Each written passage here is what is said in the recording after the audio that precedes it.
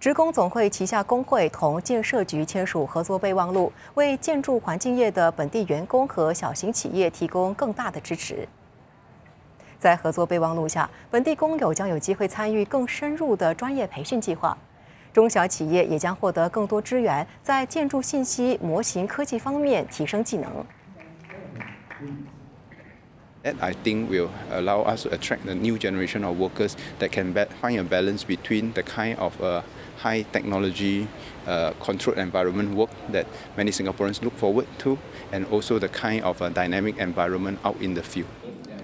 同时，建设局表示，行业转型将为国人创造更多就业机会，学习新技能。